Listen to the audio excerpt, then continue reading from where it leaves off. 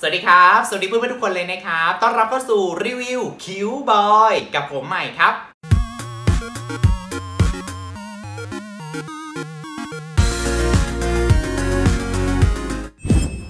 วันนี้ครับเราจะพาเพื่อนๆเนี่ยมาทำความรู้จักกันกับการตลาดยุค 4.0 นะฮะซึ่งถือว่าเป็นยุคปัจจุบันนั่นเองนะครับ แต่กว่าที่จะมาเป็นการตลาด 4.0 ได้นั้น ก็มีการพัฒนามาจากการตลาด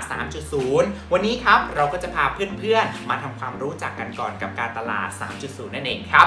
การตลาด 3.0 นั้นเขาจะมีการเน้นเรื่องของคุณค่าค่านิยม แล้วก็จะมองลูกค้าหรือว่าผู้บริโภคนั้น เป็นผู้ที่มีชีวิตหรือว่ามีจิตใจหรือว่ามีความรู้สึกนะฮะเพื่อที่จะสืื่อสารกลับมายังผู้ผลิตได้นั่นเองนะฮะแล้วก็ผู้ผลิตเนี่ยก็จะได้มีการตอบสนองความต้องการได้อย่างถูกต้องนั่นเองนะครับ ซึ่งนักการตลาดเนี่ยก็จะมีการใส่คุณค่าแล้วก็ความหมายเข้าไป โดยจะเน้นเรื่องของความเป็นมนุษย์มากยิ่งขึ้นครับ ในช่วงแรกเนี่ยการตลาด 3.0 ก็ยังไม่ได้มีการนำเทคโนโลยีที่เข้ามาใช้มากสักเท่าไหร่นะฮะแต่ว่าเมื่อวันเวลาเปลี่ยนไปการที่นำเอาเทคโนโลยีใหม่ ๆ เข้ามา ก็ทำให้มีการบูรณาการเรื่องของเทคโนโลยีมากยิ่งขึ้น จึงกลายเป็นการตลาด 4.0 เกิดขึ้นครับ ก็อย่างที่เพื่อนๆนั้นได้ทราบกันนะครับว่าการตลาด 4.0 เนี่ยเขาได้มีการบูรณาการเรื่องของเทคโนโลยีเข้ามาใช้แล้วก็มีบทบาทในยุคปัจจุบันเนี่ยมากยิ่งขึ้น จึงทำให้ผู้บริโภคหรือว่าลูกค้าเนี่ยสามารถเข้าถึงตัวแบรนด์ได้อย่างใกล้ชิด แล้วก็เข้าถึงได้ทุกช่องทางด้วยนั่นเองนะครับนอกจากนั้นการตลาดเองเนี่ยก็ต้องให้ความสำคัญเรื่องของการทำคอนเทนต์ถ้าคอนเทนต์ไหนเจ๋งๆคอนเทนต์ไหนดี ก็สามารถที่จะตีโจทย์แต่งให้กับลูกค้าได้นั่นเองครับ หรือเรื่องของความสัมพันธ์ของลูกค้าผ่านสื่อออนไลน์ก็ถือว่าเป็นสิ่งที่สำคัญเช่นเดียวกันนะฮะ เพราะความสัมพันธ์นี่แหละครับ มันเกิดความเชื่อมโยงที่ใกล้ชิดแล้วก็ความกลมกลืนเกิดขึ้นนั่นเองครับ การเชื่อมโยงที่ใกล้ชิดแล้วก็ความกลมกลืนที่เกิดขึ้นนั้น เกิดจากที่ลูกค้าหรือว่าผู้บริโภคนั้นมีการแชร์ประสบการณ์ หรือว่าการแสดงความคิดเห็นของตนเอง หรือการนำเอาการแสดงความคิดเห็นของคนอื่น มาตัดสินใจในการซื้อสินค้าแล้วก็บริการ ซึ่งต่างจากในยุคก่อนๆนะครับที่มีการนำเอาทัศนคติของตัวเองเนี่ยมาตัดสินใจซื้อเพียงผู้เดียวเท่านั้นครับ ถ้าพูดถึงนิตยสารแพรวหลายคนก็คงจะคุ้นหูกันเป็นอย่างดีนะครับ ซึ่งเป็นนิตยสารเกี่ยวกับผู้หญิง สุขภาพ แฟชั่น และก็ความสวยความงาม เป็นนิตยสารที่เจาะกลุ่มลูกค้าตลาดบน แต่ว่าก็ได้ปิดตัวลงไปเมื่อปลายปี 2560 ที่ผ่านมาครับเหตุเพราะว่าสื่อในประเทศไทยเองเนี่ยก็มีการเปลี่ยนแปลงทำให้สำนักพิมพ์หลาย ๆสำนักพิมพ์ ได้ปิดตัวลงไปตามๆกันครับ นิตยสารแพลวก็ถือว่าเป็นหนึ่งในนั้นครับ แต่ก็ได้มีการปรับเปลี่ยนมาเป็นสื่อออนไลน์แทน ที่เว็บไซต์ www. plaw. com ครับ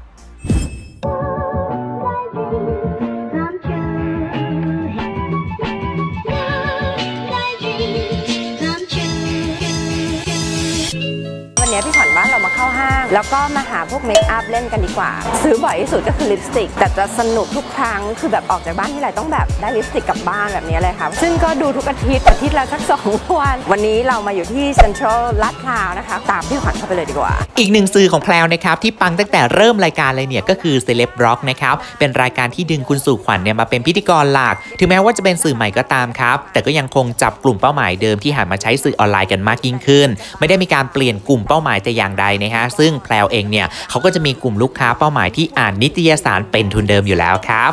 รายการนี้เนี่ยหลักๆ เลยก็จะเน้นพาไปช้อปปิ้งเดินซื้อของ ซึ่งดูเหมือนว่าเฮ้ยเป็นอะไรที่แบบธรรมดามากๆ แต่จริงๆแล้วเนี่ยมันไม่ธรรมดาครับใช่อเมริกันบูมเมอร์นี่แหละที่เขาว่าสวยแต่ขวัญไม่มีนี่ของหมดจริงๆตั้งใจมาซื้ออันนี้แหละเขาว่ากันว่าสีสวยแต่พี่ขวัญน่ะยังไม่มีอะ พียงแค่เริ่มเพลงเปิดรายการขึ้นมาเนี่ยก็กินขาดแล้วนะครับ สร้างอารมณ์แล้วก็สร้างความแตกต่างจากรายการอื่น ๆ ได้จริง ๆ ได้กลิ่นอายของความทันสมัยแล้วก็ความเป็นผู้ดีนะครับ โดยที่คุณสุขวัญเองเนี่ยเขาก็จะเดินช้อปปิ้งนะฮะตามร้านต่างๆ ซึ่งดูเหมือนว่าช้อปปิ้งจริง ๆ ดูเป็นธรรมชาติใช่ไหมแต่จริง ๆ แล้วเนี่ยแฝงไปด้วยโฆษณาร้าน คุณผู้ชมเนี่ยก็จะไม่รู้สึกนะฮะว่ามันคือโฆษณา และต่อให้รู้นะฮะก็ยังรู้สึกว่าเฮ้ยมันน่าดู รับชมแล้วเนี่ยก็อยากซื้อตามอีกทั้งรายการ Celeb Box เนี่ยก็สามารถเลือกพิธีกรได้แบบถูกคนเลยนะครับ เพราะว่าผู้คนเนี่ยก็ชื่นชอบในตัวคุณสู่ขวัญอยู่แล้วนั่นเอง ดีมากเนื้อดีมาก คิดตอนแรกว่าจะทายากหรือเปล่า แต่ปรากฏว่ามันแห้งแต่มันลื่นนะคะแล้วสีบางเบามาก อันนี้แท่ง900 990 บาทเดี๋ยวดูดิ สร้างเปล่า หมุนออกมาดูก่อนว่าสั้นปะเฮ้ยราคามันโอเคมากไง แล้วก็เนื้อดีมากสีสวยมาก หรือบางครั้งเนี่ยรายการก็ไม่ได้มีการโปรโมทชื่อร้านนะครับ แต่จะพาไปเลือกดูตามห้างสรรพสินค้าต่างๆ ซึ่งนั่นแหละครับก็คือสปอนเซอร์เป็นห้างสรรพสินค้านั่นเอง จะมีการแนะนำนะครับว่าห้างนั้นเนี่ยมีอะไรที่น่าซื้อบ้าง ด้วยคำพูดชวนติดหูนะครับว่าของมันต้องมีแล้วก็ทุกสรรพสิ่งล้วนน่ารักจนเกิดเป็นกระแสโด่งดังในทวิตเตอร์แล้วก็เกิดกระแสการซื้อตามนั่นเองครับ แต่ถ้ามันสวยอะก็เอาเอา เรียบร้อยแล้วนะคะ วันนี้พี่หันก็พามาช้อปปิ้งพวกคอสเมติกต่างๆเนาะมันก็เป็นความสุขเล็กๆน้อยๆของผู้หญิงเนาะก็ทาปากบ้างทาแก้มบ้างอะไรแบบนี้แต่วันเนี้ยที่แนะนำไปส่วนใหญ่ก็คือเป็นอะไรที่พี่ขวัญใช้ แล้วพี่ขวัญรู้สึกว่าเออพี่ขวัญชอบอะไรเงี้ยเราก็แนะนำต่อ ก็ใครอยากให้พี่ขวัญทำอะไรอีกก็บอกมาได้นะคะ เพราะเทปต่อไปจะเป็นอะไรก็ยังนึกไม่ออก จนกว่าจะนึกออกค่ะ แล้วเราเจอกันใหม่นะคะ วันนี้ไปก่อนสวัสดีค่ะ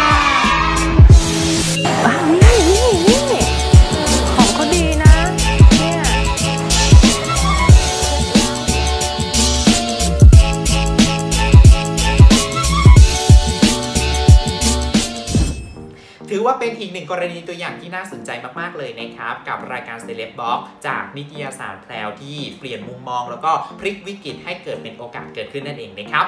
เพื่อนๆครับในยุคปัจจุบันนี้เนี่ยเวลาเราจะหาข้อมูลอะไรสักอย่างหนึ่งเนี่ยมันไม่ใช่เรื่องยากอีกต่อไปแล้วเพียงแค่เรานั้นมีสมาร์ทโฟนหรือว่ามีมือถือเครื่องเดียวที่เรานั้นพกติดตัวเป็นประจำในทุกๆวัน ก็สามารถที่จะ connect ได้กับทุกสิ่งครับ ซึ่งต่างจากเมื่อก่อนนะฮะกว่าเราเนี่ยจะได้ข้อมูลอะไรมาแต่ละอย่าง เราก็ต้องพึ่งพาแล็ปท็อปนะฮะซึ่งมันก็จะมีขีดข้อจำกัดนั่นเอง ก็ทำให้การตลาด 4.0 เนี่ยมีการบูรณาการเรื่องของเทคโนโลยีเข้ามาใช้มากยิ่งขึ้น จึงทำให้ลูกค้าหรือว่าผู้บริโภคเองเนี่ยไม่ใช่เป้านิ่งอีกต่อไปนะครับ เพราะว่าลูกค้าเนี่ยจะเป็นทั้งผู้ที่รับสาร แล้วก็เป็นผู้ที่กระจายข่าวสารได้อย่างรวดเร็ว และบริษัทเนี่ยก็ไม่สามารถที่จะคุมหรือว่าควบคุมอำนาจการตลาดได้อีกต่อไปครับ สวัสดีค่ะ ตอนนี้เราก็อยู่กันที่ ไปดูกัน หลังจากที่เป็นกระแสบนโลกออนไลน์กับแคมเปญลดกระหน่ำของเครื่องสำอางอย่าง Eve and Boy นะครับ คือเขามีการลดกระหน่ำถึง 90%เลยทีเดียว ตัดมาหมดเลยทั้งแบรนด์เล็กแล้วก็แบรนด์ใหญ่นะฮะบางแบรนด์เนี่ยคือลดจากพันกว่าบาทเหลือเพียงร้อยกว่าบาทเท่านั้นนะครับคือสาวๆหลายคนก็อยากจะจับจองเป็นเจ้าของใช่ไหมบางคนเนี่ยก็มารอคิวตั้งแต่5ทุ่มของวันที่ผ่านมาเลยแหละ ตอนแรกเนี่ยก็คิดว่าสาวๆเนี่ยน่าจะ happy นะฮะได้ shop เครื่องสำอางราคาถูกแต่เปล่าเลยครับเกิดกระแสดราม่าบนโลกออนไลน์กลายเป็นกระแสลบที่กลับมาหาทางแบรนด์แบบรัวๆเลยนะฮะชนิดที่ว่าร้อนแรงในทวิตเตอร์เลยทีเดียวครับ มันเปิดแล้วอะเอใช่อปะเขาบอกเขาเปิดแล้วกำลังทยอยลงไปกันอยู่อากาศเป็นยังไงบ้างคะอย่าให้พูด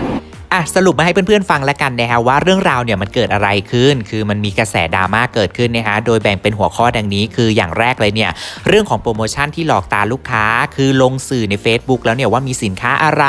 ลดเท่าไหร่บ้าง แต่พอมาถึงเวลาจริงแล้วเนี่ยเอ้าของกลับหมดซะงั้นนะครับส่วนอย่างที่สองก็คือการจัดการที่ไม่ค่อยดี คือร้านเนี่ยเขาก็จะมีการฝากกระเป๋าก่อนที่จะเข้าร้านอยู่แล้วทุกสาขาใช่ไหมแต่วันนี้เนี่ยคนมาแบบมหาศาลเลย แต่คนดูแลกระเป๋าเนี่ยไม่พอจนเวลารอรับกระเป๋าเนี่ยใช้เวลานานบางคนก็เลยต้องทิ้งกระเป๋าไว้ก่อนครับ ส่วนอย่างที่ 3 ก็คือปล่อยให้ beauty blogger เนี่ยเข้าไปในร้านก่อน ก็เข้าใจนะว่าคือเขามีชื่อเสียงนะฮะก็ต้องให้เขาโปรโมทก่อนนั่นเองครับ และอย่างทีสี่ 4 ก็คือพนักงานบริการแย่เป็นเรื่องที่พูดกันมานานแล้วนะฮะว่าบางทีเนี่ยก็ไม่สนใจลูกค้าเดินตามบ้าง แล้วก็พูดจาไม่ดีบ้างบลาบลาบลาบลานั่นเองครับ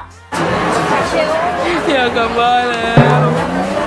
หลังจากที่เกิดกระแสดราม่าเกิดขึ้นนะครับ ก็ทำให้ e ฟแอนด์บอยเองเนี่ยควรที่จะต้องเรียนรู้จากบทเรียนครั้งยิ่งใหญ่ในครั้งนี้นะฮะก็คือเรื่องของความจริงใจครับ ไม่ว่าจะเป็นการออกโปรโมชั่น หรือว่าการวางจัดจำหน่ายสินค้าจริง ควรให้ข้อมูลที่ครบถ้วนแล้วก็ไม่ได้กะเอาแค่ว่ากระแส ให้คนพูดถึงในชั่วข้ามคืนเท่านั้นนะครับเพราะว่าอย่าลืมนะฮะว่าในธุรกิจนี้เนี่ยไม่มีรายได้ผูกขาดเป็นเจ้าตลาด เมื่อแบรนด์ใดล้มเนี่ยก็ย่อมมีแบรนด์อื่นที่ผู้บริโภครู้สึกประทับใจเข้ามาแทนได้อย่างแน่นอนครับยกตัวอย่างเช่นร้านบิวตี้เทียมนะครับที่ผู้บริโภคหลายคนเนี่ยก็แนะนำแล้วก็ยังพูดผ่านแฮชแท็ก Eat and Boy กันเลยครับ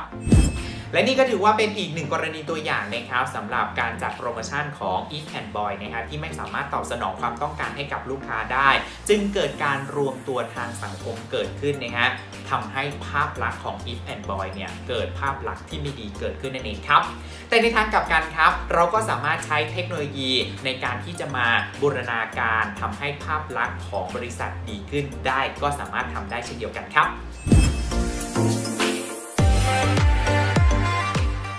เป็นกระแสอยู่นานพอสมควรเลยนะครับสำหรับในแฟนเพจของ KFC ที่มีแอดมินน่ารักมาตอบคอมเมนต์สำหรับลูกค้าหรือว่าผู้บริโภคเนี่ยฮะที่ไปสอบถามข้อมูล บางทีเนี่ยก็จะเจอคำถามที่ตลกบ้างแล้วก็น่ารักบ้าง แต่ว่าเจอคอมเมนต์ตอบกลับจากแอดมิน KFC น่ารักที่น่ารักกว่า แล้วก็ตลกกว่านั่นเองครับซึ่งการตอบคำถามในแฟนเพจของ KFC นั้นเนี่ยเขาก็จะมีจุดประสงค์ด้วยกัน 2 ประการนะฮะก็คือ อย่างแรกเลยเนี่ยเขาบอกว่าเราเนี่ยอยู่ในธุรกิจการบริการ สิ่งที่สำคัญที่สุดเนี่ยก็คือการให้บริการลูกค้า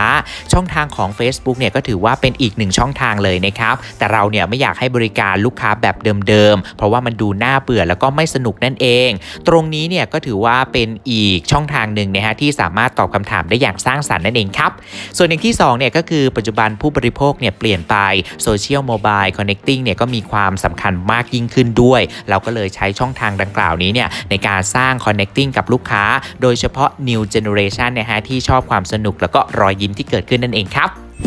อย่างที่เพื่อนๆนั้นทราบกันดีนะครับว่าการตลาด 4.0 เราได้มีการนำเทคโนโลยีมาบูรณาการแล้วก็ใช้กันมากยิ่งขึ้น เพราะฉะนั้นบริษัทเนี่ยก็ไม่สามารถที่จะคุมอำนาจการสื่อสารการตลาดได้อีกต่อไป ซึ่งการควบคุมอำนาจการสื่อสารการตลาดก็จะมาตกอยู่ที่ลูกค้า และนั่นก็หมายถึงลูกค้าจะเป็นผู้กำหนดภาพลักษณ์หรือว่าทิศทางของบริษัทนั่นเองครับ